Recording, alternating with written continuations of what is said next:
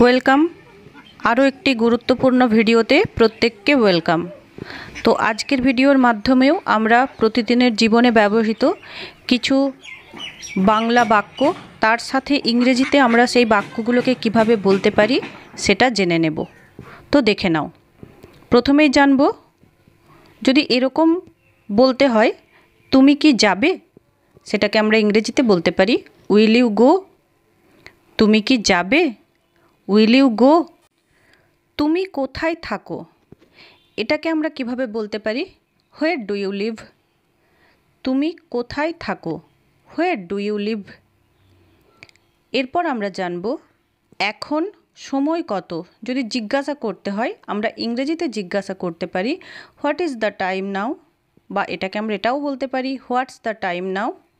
What is the time now? Or what's the time now? তুমি কি মজা করছ? তুমি কি মজা করছ? আর ইউ কিডিং তুমি কি মজা করছ? এর পরিবর্তে আমরা বলতে পারি আর ইউ কিডিং এটা বলা যাবে না। তো ইংরেজিতে কি বলব? It can not be said or it can't be said can নটকে আমরা কান্টও বলতে পারি। It can not be said আমাকে স্পর্শ করবে না। তো ইংরেজিতে কি বলব?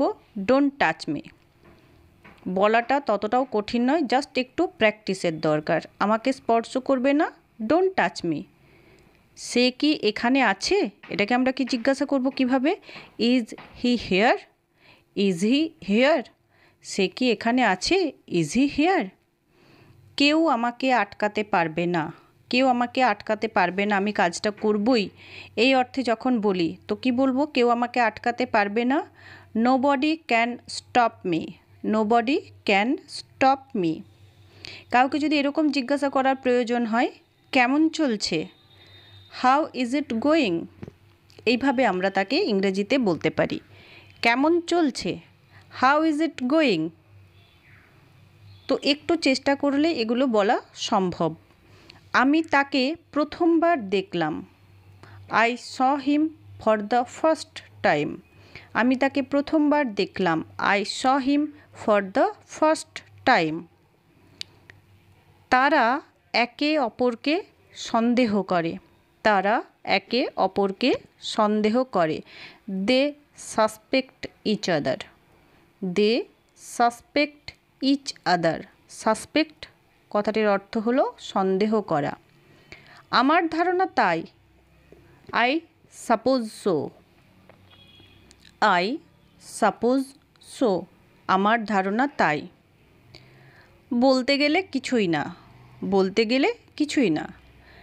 নেক্সট টু নাথিং বলতে গেলে কিছুই না। নেক্সট টু নাথিং এভাবে যদি আমরা কোনো কিছু বলতে চাই চাইলেই পাওয়া যায়, চাইলেই পাওয়া যায়। Just for asking just for asking চাইলেই পাওয়া যায়। গ্রামার না জেনেও এরকম ছোট ছোট ইংরেজি বাক্য অনায়াসেই বলা যায়। এটা তোমার ভুল নয় কি? এটা তোমার ভুল নয় কি? Is it not your mistake is it not your mistake এটা তোমার ভুল নয় কি? যদি তাই হয়, তাতে কি? তো এটাকে আমরা সুন্দরভাবে ইংরেজিতে কি বলব? ছোট্ট করে বলতে পারি ইফ সো সো হোয়াট। যদি তাই হয়, তাতে কি? তো ইংরেজিতে বলতে পারি, ইফ সো সো হোয়াট? একটু অপেক্ষা করো। Wait for a while. একটু অপেক্ষা করো। Wait for a while. হয়তো কাল আমি চলে যাব। হয়তো কাল আমি চলে যাব। Maybe I will leave tomorrow maybe I will leave tomorrow হয়তো কাল আমি চলে যাব। Maybe I will leave tomorrow এখন সকাল সাতটা বাজে। Now it's seven A M now it's seven A M বা এটাও বলতে পারি now it's seven o'clock in the morning বা মর্নিং তো দেখাই যায়, তো ইটস সেভেন ও ক্লকও বলা চলে। নেক্সট আমাকে এই ঠিকানায় নিয়ে চলো। Take me to this address আমাকে এই ঠিকানায় নিয়ে চলো। Take me to this address এটা আমি কীভাবে করব? How can I do this এটা আমি কীভাবে করব? How can I do this এভাবে আমরা বলতে পারি। সে আমাকে যেতে বলেছিল। সে আমাকে যেতে বলেছিল। He told me to go he told me to go he told me to go যেতে বলেছিল। বিশেষ কিছু হয়েছে? বিশেষ কিছু হয়েছে? এনিথিং স্পেশাল হ্যাপেন্ড বিশেষ কিছু হয়েছে? এনিথিং স্পেশাল হ্যাপেন্ড আমাকে একটি ব্যাংক অ্যাকাউন্ট খুলতে হবে। I need to open a bank account I need to open a bank account আমাকে একটি ব্যাংক অ্যাকাউন্ট খুলতে হবে। আমাকে কথা দাও। আমাকে কথা দাও। এটা আমরা ইংরেজিতে সুন্দর করে বলতে পারি প্রমিস মি প্রমিস মি এই কথাটির অর্থই হলো বা এটার মানে বোঝায়, আমাকে কথা দাও। প্রমিস মি ওকে ভালোবেসো না। ওকে ভালোবেসো না। ডোন্ট লাভ হার ওকে ভালোবেসো না। ডোন্ট লাভ হার চলো বাইরে যাই। চলো বাইরে যাই। Let's go out let's go out চলো বাইরে যাই। ছোট্ট ছোট্ট ইংরেজি সেন্টেন্স বলা ভীষণই সহজ। আমার গাড়িতে ওঠো। এটাকে আমরা কীভাবে বলব? গেট ইন্টু মাই কার আমার গাড়িতে ওঠো। গেট ইন্টু মাই কার বা কেউ যদি বলে গেট ইন্টু মাই কার বুঝতে হবে তার গাড়িতে উঠতে বলছে। তখন আমি বলতে পারি no I will not go অর্থাৎ বোঝাবে, না, আমি যাব না। না, আমি যাব না। এটাকে আমরা বলতে পারি no I will not go কেউ যদি ইংরেজিতে বলে, আমরা এইভাবে ইংরেজিতেই উত্তর দিতে পারি। No I will not go আমাকে ছেড়ে দাও। আমাকে ছেড়ে দাও। Leave me. আমাকে ছেড়ে দাও, এই কথাটাই আমরা ইংরেজিতে বলতে পারি, লিভ মি। আজ রাতে দেখা হবে। আজ রাতে দেখা হবে। সি ইউ টু নাইট বা কাল দেখা হবে। See you tomorrow. এভাবে আমরা বলতে পারি। সি ইউ টুমরো, অর্থাৎ কালকে দেখা হবে। আমি সমস্যায় আছি। ইংরেজিতে কীভাবে বলব? I am in trouble I am in trouble আমি সমস্যায় আছি। I am in trouble trouble মানে সমস্যা। আমার মন খারাপ। আমার মন খারাপ। I am sad or I am upset এটাও বলতে পারি। আমার মন খারাপ আই এম স্যাড বা আই এম আপসেট মানে হতাশ।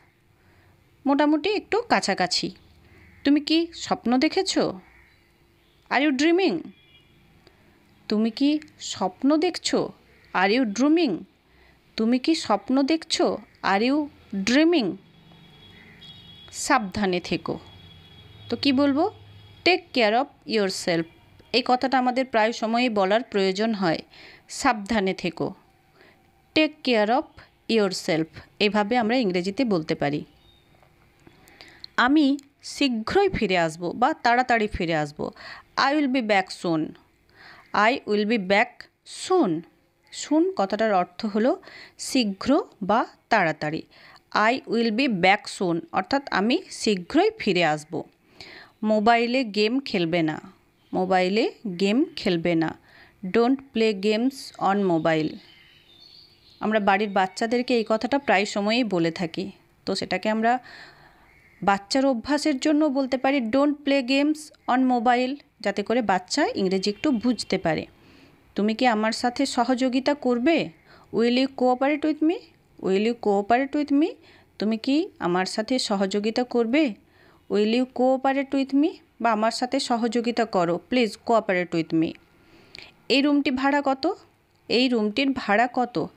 How much is the rent for this room how much is the rent for this room এই রুমটির ভাড়া কত? এই রুমটির ভাড়া কত?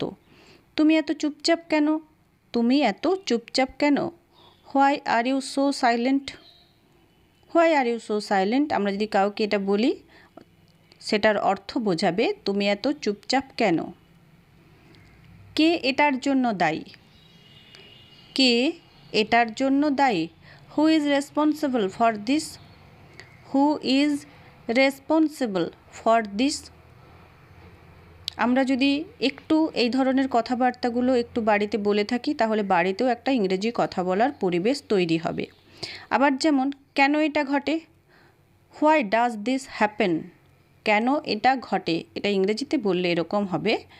Why does this happen why does this happen আশা করি তোমাদের ভালো লেগেছে।